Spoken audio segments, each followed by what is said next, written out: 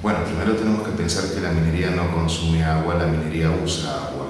Los productos mineros no tienen agua en su composición, el agua es recirculada y reutilizada. Pensemos como en el sistema de refrigeración de un auto. En un auto se está utilizando permanentemente agua, pero en realidad es siempre la misma agua y de vez en cuando hay que reponer. En minería pasa exactamente lo mismo, las cantidades que se reponen son mayores y lo que se repone es el agua que se evapora. Eh, la minería usa muy poca agua, pensemos que en Chile con más de 4.000 yacimientos en funcionamiento, en operación, la minería usa 20 veces menos agua que la agricultura. Y a pesar de todo, la minería es cerca del 20% del Producto Bruto de Chile y aporta más o menos el 38% de los ingresos tributarios de ese país. Es decir, como fuerte impacto económico, la minería usa realmente muy poca agua respecto de la agricultura, no pone en riesgo eh, el uso de agua en otras actividades.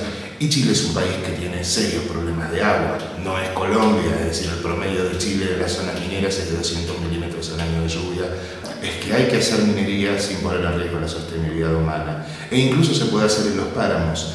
Eh, independientemente de que haya una ley que los proteja, se puede proteger a los páramos y hacer minería al mismo tiempo. Podemos proteger el medio ambiente y tener desarrollo al mismo tiempo, no son dos cosas incompatibles.